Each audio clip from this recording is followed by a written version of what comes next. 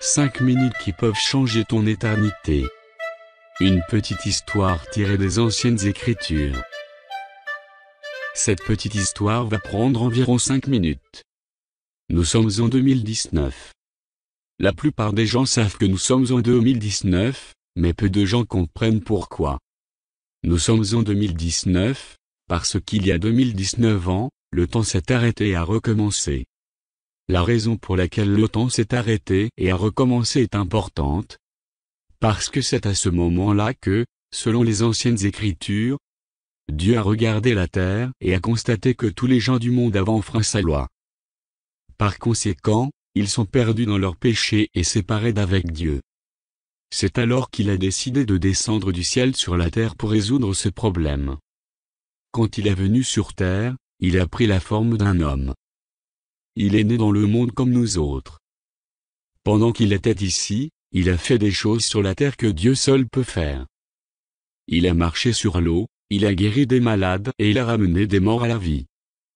La chose la plus étonnante qu'il ait faite, alors qu'il était ici, a été de résoudre notre problème de péché et de séparation d'avec Dieu. Il a fait cela en menant une vie parfaite. Ensuite, il a placé sa vie parfaite à côté de toutes nos erreurs et péchés, et il les a échangés. Il nous a donné sa vie parfaite, et il a amené dans sa tombe notre vie brisée. De cette façon, il a payé tous nos péchés et erreurs au prix de son propre sang. Par son grand pouvoir, il a vaincu la mort. Puis, il est remonté au ciel. Là, il a laissé les portes largement ouvertes, pour que tous ceux qui le suivent puissent y entrer. Le seul problème est que tout le monde ne choisit pas de le suivre et de franchir les portes. C'est pourquoi je te raconte cette histoire. Quand Dieu a créé le monde, il n'y avait pas encore de gens. Il a donc créé deux personnes. Leurs noms étaient Adam et Ève. Ils avaient tout ce dont ils avaient besoin et ils étaient proches de Dieu, comme de mains jointes. Pendant ce temps, Dieu n'a fait qu'une seule règle. C'était qu'Adam et Ève ne mangent pas d'un certain arbre. Mais ils ont enfreint la règle, et ont mangé de l'arbre. Et quand ils ont enfreint la règle, ils ont également rompu leur amitié avec Dieu. Ils n'étaient plus proches de Dieu. Au lieu de cela, ils étaient éloignés l'un de l'autre. C'est comme c'est depuis. Selon les anciennes écritures, environ 2500 ans après Adam et Ève, Dieu a appelé un homme nommé Moïse, à conduire environ un million de personnes d'Égypte vers une terre promise.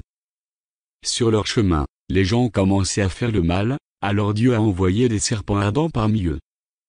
Ces serpents ont mordu le peuple et beaucoup d'entre eux sont morts. D'autres ont couru vers Moïse et lui ont demandé de leur pardonner, et de prier pour eux.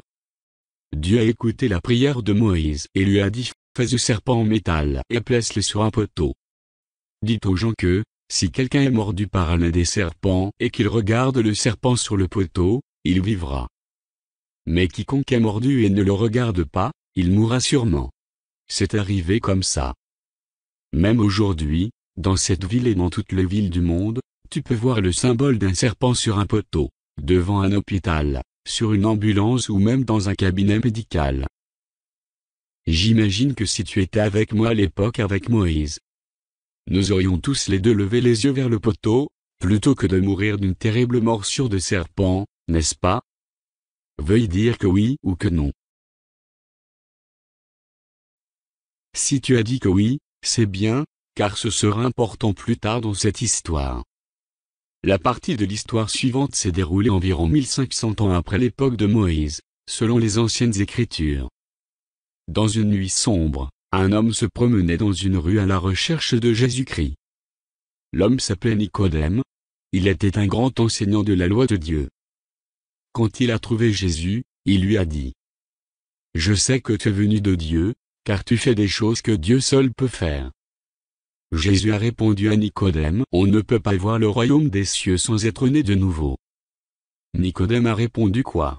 Comment un homme peut-il être né de nouveau? Devra-t-il retourner chez sa mère à l'âge adulte et sortir d'elle une seconde fois? Jésus a ensuite expliqué Tu es vraiment un grand enseignant, mais j'ai quelque chose à t'apprendre. Ton corps naturel est cher, sang et eau, mais ce qui est esprit est comme le vent, tu ne sais pas d'où il vient et tu ne sais certainement pas où il va. c'est comme ça chez tous ceux qui sont nés de l'Esprit. Et tout comme Moïse a élevé le serpent dans le désert, de même moi, je dois être élevé, afin que je donne la vie éternelle à tous ceux qui se confient en moi. Maintenant, mon ami, je sais que Jésus t'aime et qu'il t'attire à lui-même en ce moment. Il ne veut pas que tu périsses à cause de ton péché, il souhaite plutôt que tu la vie éternelle. Donc, j'ai deux questions à te poser. Te souviens-tu de ces gens dans le désert avec Moïse, qui ont été mordus par les serpents ardents? Et ont levé les yeux vers le serpent sur le poteau, et ils ont été sauvés? Veuille dire que oui ou que non. De la même manière, Jésus-Christ t'invite à le regarder, à lui faire confiance pour qu'il te sauve, toi aussi. Ma deuxième question est simplement ceci. Dis-tu que oui ou que non à Jésus? Veuille dire que oui ou que non. Si tu as dit que oui, alors prononçons ensemble une courte prière, pour confirmer ce qui vient de se passer. Veuille me suivre en disant cette prière avec un sens dans ton esprit. Mon nom est. Je te demande, à toi Jésus-Christ, de me pardonner mes péchés, d'entrer dans ma vie, et de me sauver. Je te suivrai, Jésus. Amen. Je pense que tu connais d'autres personnes qui ont également besoin d'entendre cette histoire. Veuille raconter à d'autres cette histoire, ou demander à eux de visualiser cette vidéo. Puis, aide-les à prononcer la même petite prière. Pour apprendre à mener ta vie nouvelle, procure-toi la Sainte Bible dans une langue que tu sais bien.